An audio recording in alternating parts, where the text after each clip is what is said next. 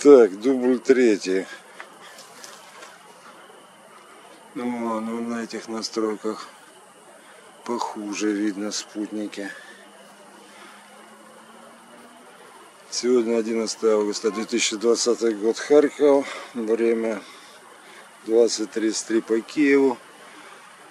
Да, предыдущие настройки были мануальные. Эти настройки ю, юзера, я так понимаю, пользователя.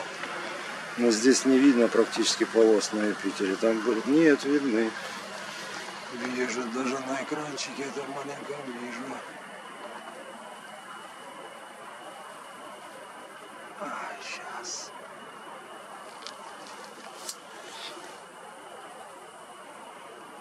Да, хуже, значительно хуже при таких настройках. Предыдущий дубль удачнее был. В окуляр еще можно разглядеть. И спутники справа Европа спутник. Справа же.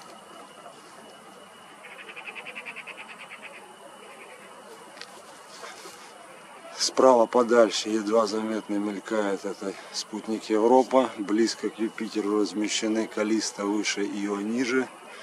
И слева это Ганимед.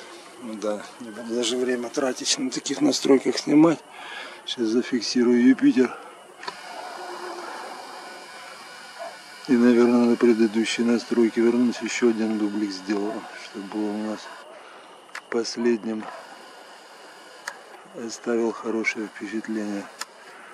Было видно, только что снимал, может еще светлее просто было. Не так контрастное небо получилось.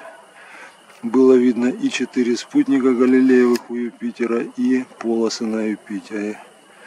Обычно это взаимоисключающие вещи. Либо, ты, либо я на этом фотоаппарате умудряюсь увидеть спутники Юпитера, но тогда сам Юпитер просто белая клякса.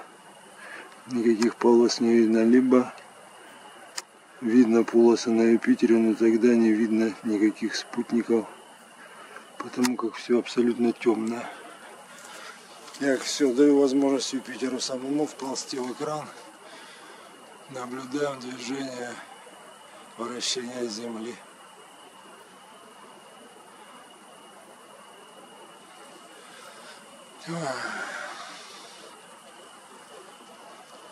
Красота. Стих ветерок. Зря в кусты забрался.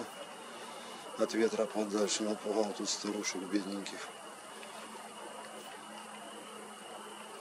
Нет, чуть-чуть ветерок есть. Ладушки.